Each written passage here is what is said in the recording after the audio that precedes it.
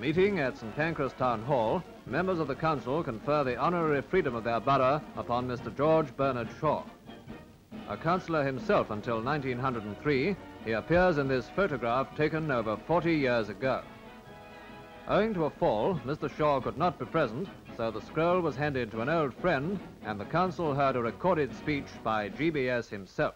I tumbled down, I should think about three times a week, quite regularly. And most unfortunately, I had a really bad fall yesterday. And accordingly, I have taken this method of letting you hear my voice, but not letting you see me flopping.